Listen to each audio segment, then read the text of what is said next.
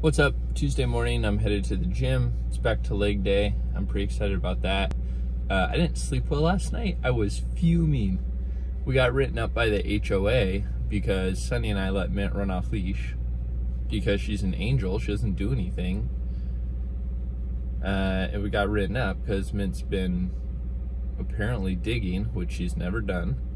She's been urinating, which I challenge you to find a dog that doesn't do it I guess she's not allowed to run off leash, which is fair, but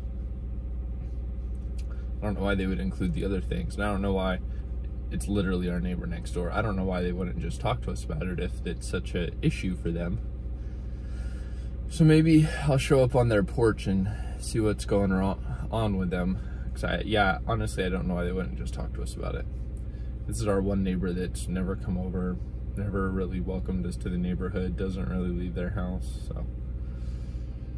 What a pain. We'll see. Uh, all right, anyways, off to the gym.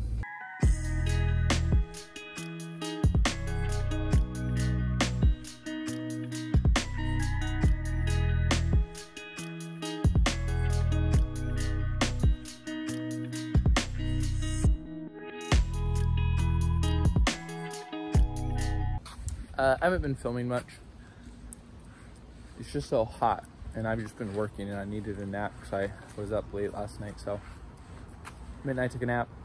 We've been trying to survive in this heat. I did want to go to the puppy park, but just because it's so hot, it's like 85. I don't think we're going to.